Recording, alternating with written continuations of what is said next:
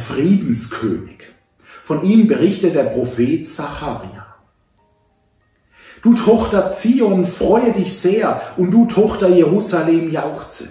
Siehe, dein König kommt zu dir, ein Gerechter und ein Helfer, arm und reitet auf einem Esel, auf einem Füllen der Eselin.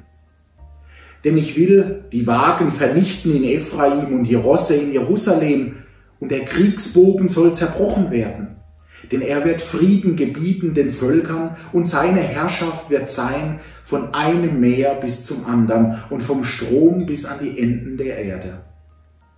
Auch lasse ich um des Blutes deines Bundes willen deine Gefangenen frei aus der Grube, in der kein Wasser ist. Kehrt heim zur festen Stadt, die ihr auf Hoffnung gefangen liegt. Denn heute verkündige ich, dass ich dir zweifach erstatten will.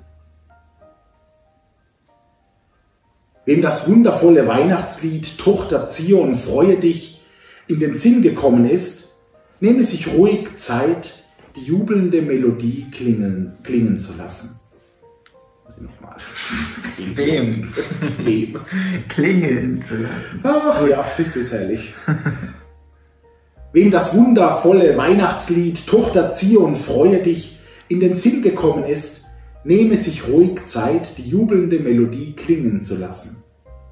Wem der Bericht vom Einzug Jesu in Jerusalem vor Augen steht, lasse die schwingenden Palmzweige die jauchzende Menge an sich vorüberziehen.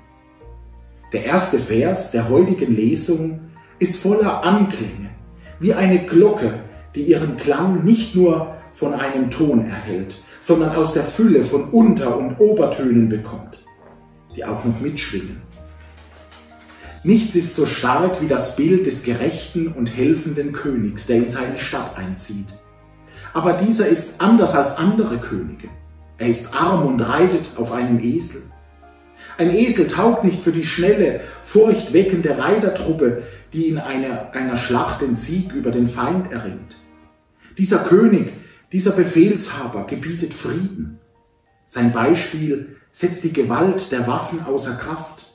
Sein Frieden hat Bestand ohne die Pracht, die blanke Waffen auch haben können. Freilich, wir wissen, wie zerbrechlich Frieden sein kann. Die Hoffnung auf haltbaren Frieden ist an keinem Ort so stark wie in der Stadt, Stadt Jerusalem, in der Frieden angesagt und geboten wird und in keiner anderen Stadt häufiger enttäuscht worden ist zu den Unter- und Obertönen des vollen Klangs von Frieden gehört, dass er nach aller Erfahrung kein dauerhafter Zustand ist. Vielmehr wird Frieden ständig und immer wieder gebrochen.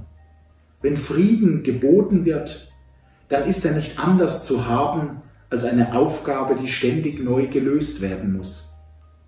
Ob damit nicht auch heute wieder in aller Armseligkeit und zaghafter Zuversicht anzufangen wäre?